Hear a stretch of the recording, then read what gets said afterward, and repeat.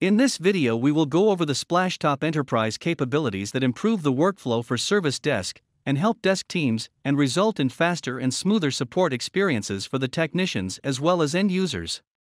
You can access the Service Desk console from your My.Splashtop console or even your Splashtop business app. Within the console, you see the technician groups or channels on the left, and the technicians queue with the support sessions here. Technicians can be organized and grouped to handle different channels. Let's create one. For example, all support requests from the graphics design department that uses Mac workstations exclusively can be routed to a dedicated channel, and that channel can be assigned to a technician group made up of Mac experts. I'm going to set the session expiry to 30 minutes and also enable SOS call, which I will get to in just a bit. I will assign the Mac experts group here. You can set roles, permissions, and granular controls so that technicians can be granted the minimum privileges needed to accomplish their tasks. Each technician or technician group's privileges related to session management can be granularly defined. The connection process in Enterprise is also faster and smoother. The technician starts a new session, enters the customer name, and simply copies this support link and sends it to the end user. There is no longer the need for the end user to pass the session code back to the technician, as in the traditional SOS workflow. Notice the session status in the support queue says waiting at this point.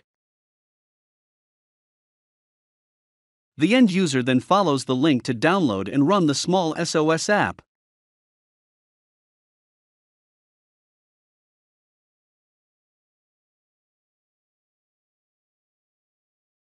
When that is done, the technician will see the active status in the support queue and can see additional device information such as OS version and IP address, even before connecting in.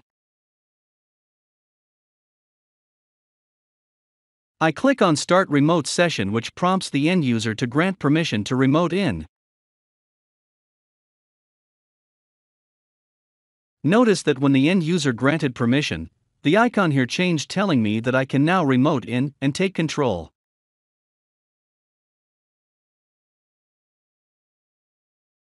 I'm now remote into this computer and have access to the toolbar with many handy features.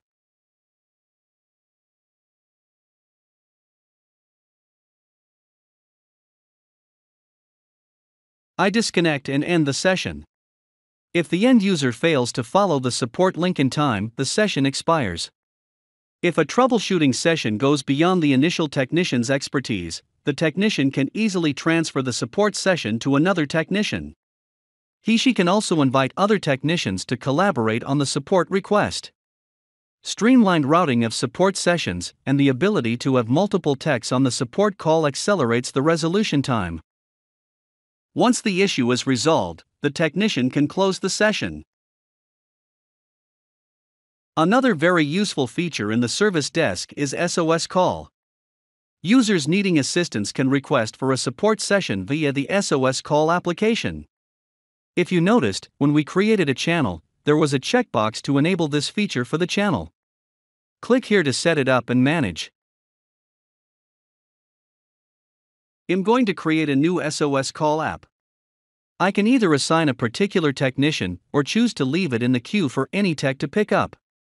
This link is now reusable and dedicated to a group of end users who will be supported by this channel. It can be deployed on their desktops.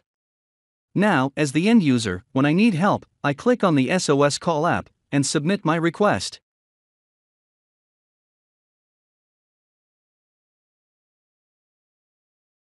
Now, as you can see, the request has appeared in the technician queue, and you can see it's come through SOS call. I can then pick up the support request, and then connection process continues as we saw before. As you can imagine, with these service desk capabilities, IT support teams can increase efficiency and deliver faster resolution and a better support experience.